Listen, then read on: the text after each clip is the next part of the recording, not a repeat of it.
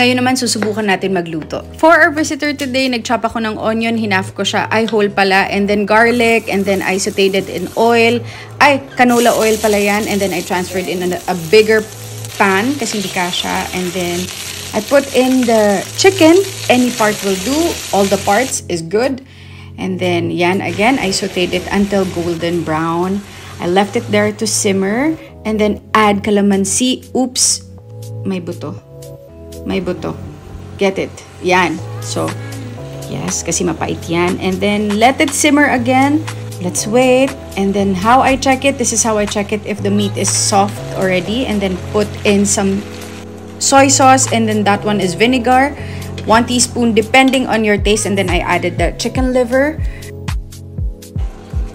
Ayan. So, galaw-galawin lang natin ang spatula. I mean, yung chicken.